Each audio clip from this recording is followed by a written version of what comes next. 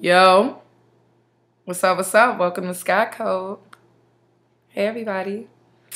Okay, so today we have my girl, and she's in a bad situation because she's like, so what do you do when you really like a nigga, but his sex is so whack? it's fucked up.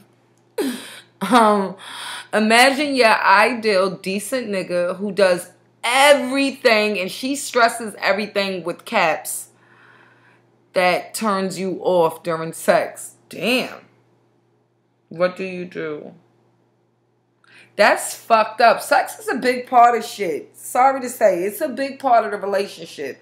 Once you get in the midst of it, before you start fucking, everything is all peaches and cream, but you might end up in a fucking friend zone.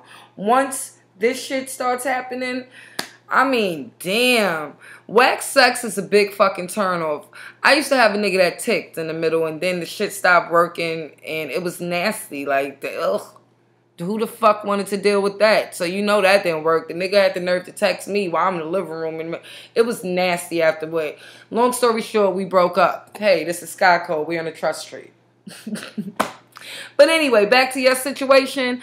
If the sex is whack, y'all better try some new shit. Is he open to trying new shit?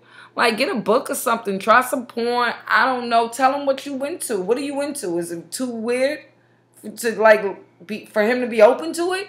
The fuck. This is all about communication. Don't just straight out tell him his dick is whack because he might end up slapping the shit out of you. And you deserve it. Because that's fucked up. So just do it in a cool way. And let the nigga know, like, hey, I, am not I'm not feeling it. I want to try something different. Like, I don't like that's Sky Code. Tell this nigga that I this that you guys have to try something new. Get a good book. Google some shit. Yep.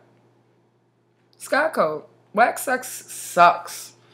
Fuck. Niggas don't think they dick be whack either. That's like a little dick nigga having a magnum. Like it's just it exists. You don't you got it. Your dick is whack.